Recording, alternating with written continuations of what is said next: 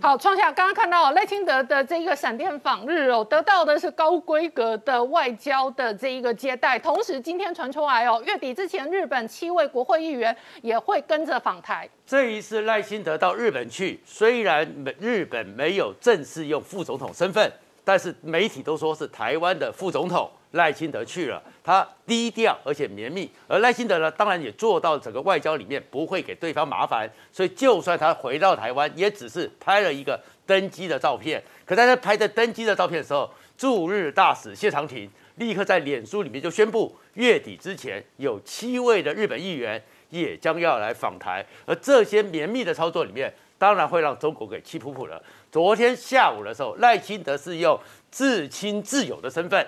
直接到了日本的真上寺去给安倍敛香。当他五点多左右到的时候呢，中国的驻日大使孔玄佑还在后面排队，排到六点多才能够上香。所以中间的一个差距就非常的明显了。而这过程中呢，整个日本是做的非常绵密的，是说家族希望赖清德去，所以日本的岸田文雄很快的给了签证，通知我们就让赖赖清德去了。这里面这个细腻的操作，所以呢，中国当然气扑扑，因为而且反应不及，反应不及的话，所以你会看到呢，先是由朱凤莲出来讲说，如果你们台湾要以吊唁谋独的话，这是徒劳的。然后汪文斌呢，外交部碰到了这个记者在问的时候，说台湾副总统气扑扑的说，台湾没有副总统，所以呢，我告诉你，台湾没有副总统，然后呢，将要跟。日本方面严正交涉，而《环球时报》就开始讲了，赖清德只叫做台湾的副省长。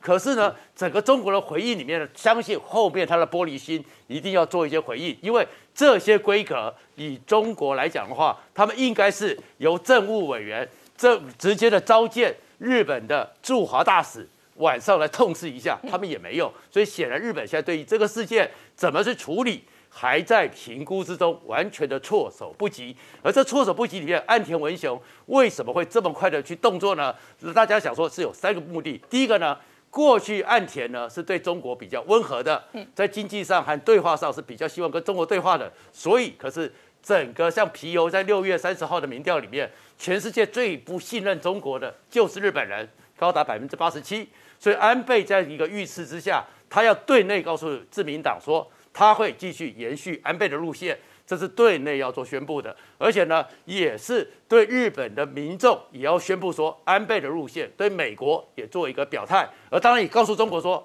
不要幻想，在这个局面里面，我不会因为安倍而走而有所有的调整，所以他甚至讲了。今年秋天的时候开始讨论宪法第九条的问题，在现在局面里面，你如果这个时候违背了安倍路线，你会有大麻烦的。那事实上，安倍家族呢跟台湾的关系非常的密切，他的祖父和叔公呢，一个是岸信介，一个是佐藤荣作，也是日本历史上唯一两个用首相身份正式访问台湾，一个就是岸信介，一个就是佐藤荣作。而岸信介是一当选之后。很快的就来台湾访问，而且他在台湾的时候协助台湾，当时最重要的一件事情，白团，白团是岸信介协助台湾，协助蒋介石给成立的。而佐藤荣作呢，当时已经有着美国要跟中国开始握手，然后田中角荣要开始跟随美国路线的压力之下，当时他还帮台湾承诺，五十年前台湾现在正在做的国建无造，当时佐藤荣作还帮台湾。做好了设计图，要奔台湾做潜水艇，所以他们家族挺台就是一个这个传统。当然，爱信界对台湾很重要，他也讲了，台湾存在是对于亚太来讲是坚若磐石，台湾有事就是日本有事，也是最早谈出了印太这个概念的人。而不止如此，他的妈妈也非常的跟台湾非常亲善。他的妈妈现在已经安倍洋子呢，已经九十四岁了。九十四岁的时候呢，他在日本的时候，常常至少四次去参加过。整个台湾在日本交流协会里面的活动，甚至于还曾经因为安倍是首相，不方便以安倍的代表身份直接来到台湾，跟蔡英文总统一起去听音乐会，所以你就看到他们家族对台湾的一个友善。然后再过来呢，他的太太安倍昭惠也是日本的首相夫人里面很特殊的，她呢在整个安倍辞职之后，跟着日本的官方务人就概念一样，所以没有工作了。可是他呢，没有工作之下，他其实还是参与很多社会活动。安倍昭会非常活跃，而且被称为是安倍家里的反对派，包含是比如说推动核电，推动了整个驻美军驻日本的陆战队的基地的扩建，他的态度和立场都跟安倍不一样。嗯，可是都非常挺。那当然，安倍还有个弟弟岸信夫，他也是非常挺台湾的。好，那媒体的报道好像说，这一次赖清德的访日是用安倍养子，就是安倍晋三的妈妈，以及安倍晋三的弟弟岸信夫的名义邀请赖清德以亲友家属的身份，然后来赴日哦这一个悼念，所以等于是安倍养子哦这个做一个老妈妈的身份名义，以及家人哦亲弟弟安信夫的这一个名义哦出面来具名的邀请。基本上媒体的报道是说，就是由安倍的家族提出申请、提出要求，希望赖清德，因为他们事实上赖清德呢在台南的时候呢，安倍也去看过他们，所以关系很良好。然后整个金美玲呢，我们也知道说，他这次也陪着那个赖清德一起去了嘛。金美玲是在台湾里面非常重要而且知名的，对日本非常关系密切的人，他这次也陪着赖清德一起上香。所以当出了这个事情之后，家族决定在真上寺，真上市很特殊。真上寺是德川家康这个幕府将军家族的圣庙哦，所以生安倍把它放在这个将军家族的圣庙里面办这场葬礼。其实也是代表着安倍的身份和地位不一样，所以他们家族就是以里面说家族提出这个要求，提出这个要求之后呢，马上通知我们台湾，而通知台湾之后呢，而且在现在以日本的整个申请签证其实是非常绵密的，有很多时候非常塞车的。第二天早上通知我们台湾说日安岸田文雄签了，然后但是呢，马上的整个赖清德就过去，非常低调。但是呢，所有的媒体还会拍到他，嗯，然后说是台湾副总统，所以就是在官事场合上，日本呢做的非常犀利，但是在整个态度和意义上，嗯，他就是台湾的副总统，而且台湾呢过去只有李登辉是用副总统的身份过境，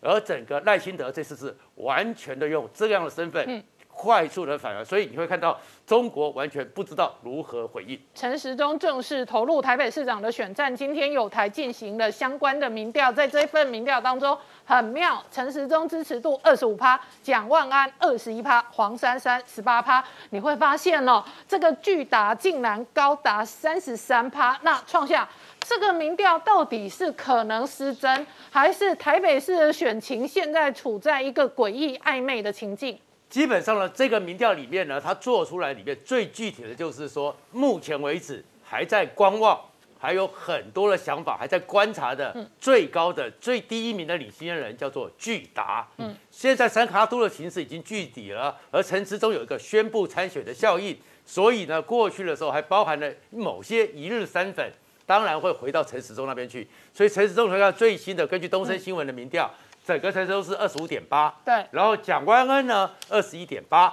然后黄珊珊十八点八，这这里面呢，其实你仔细看，陈时中和蒋万安还在误差范围之外，嗯，其实黄珊珊和蒋万安其实是在误差范围里面，对，但是这里面更特别的是巨达，嗯，表示我其实还在观察，我还没下定论的是百分之三十三点七。这个数字，所以这份民调第一名是巨达，巨达有一个参选人叫巨达，他可能胜选。而这个数字里面最大意义什么？就是不管你是蓝的基本盘，嗯，绿的基本盘